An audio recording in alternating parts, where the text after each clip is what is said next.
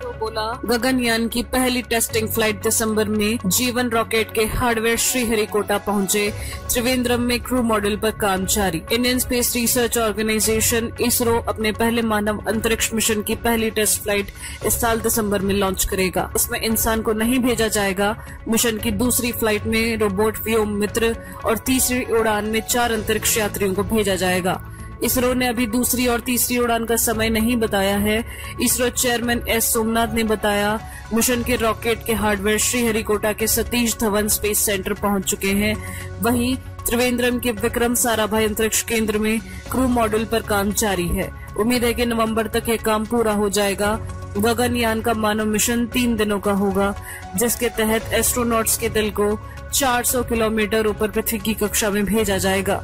इसके बाद crew module जिसमें एस्ट्रोनॉट बैठते हैं, उसको सुरक्षित रूप से समुद्र में लैंड कराया जाएगा। भारत इस मिशन में कामयाब रहा तो वह ऐसा करने वाला चौथा देश बन जाएगा। इससे पहले अमेरिका, चीन और रूस ऐसा कर चुके हैं। 15 अगस्त को इसरो ने गगनयान मिशन के एस्ट्रोनॉट्स की ट्रेनिंग का एक वीडियो जारी किया है। वीडियो में दिख रहा है कि एस्ट्रोनॉट्स को स्पेस जैसी एक सिमुलेटेड कंडीशन में ट्रेनिंग दी जा रही है। इसरो ने सोशल मीडिया प्लेटफॉर्म एक्स पर यह वीडियो शेयर किया था।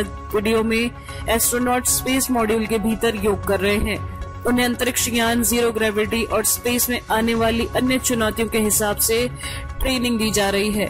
23 अगस्त 2024 को भारत नेशनल स्पेस डे मनाया जाएगा। इसी दिन पिछले साल इसरो का चंद्रयान थ्री चाँद के साउथ पोल पर उतरा था। पूरे देश में नेशनल स्पेस डे की तैयारियाँ चल रही हैं। ISRO chief doctor S Somnath ने देश भर के लोगों से इस सेलिब्रेशन में भाग लेने की अपील की है। पीएम मोदी ने फरवरी में तिरुवनंतपुरम स्थित Vikram Sarabhai space centre BSSC में गगनयान मिशन के एस्ट्रोनॉट्स के नामों की घोषणा की। इनमें ग्रुप कैप्टन प्रशांत बालकृष्णन, आई Nair, group captain Ajit Krishnan, group captain Angad Pratap और विंग कमांडर शुभांगु, शुभांशु शुक्ला शामिल हैं।